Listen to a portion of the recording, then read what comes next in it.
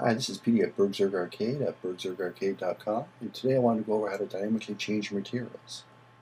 So I've set up a fairly simple scene here.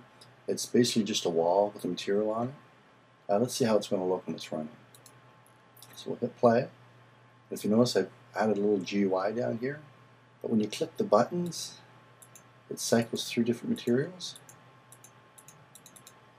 and you can also go back. So let's take a look how I implemented this. First I have your wall object which just simply starts off the first material. I've created 11 materials, or sorry, 10 materials total. And each one has a different set of textures.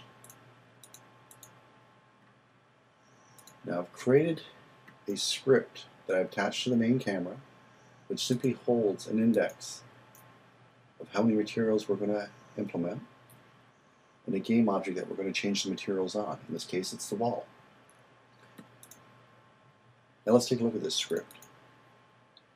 So it starts off, here's your public array of materials.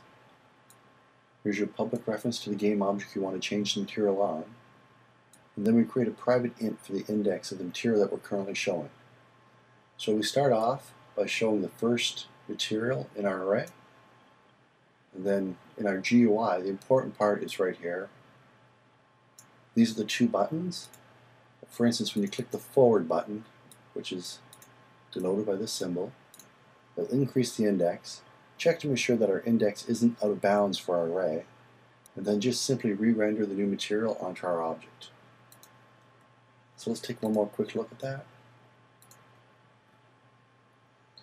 When you click the button, cycle through all your different materials.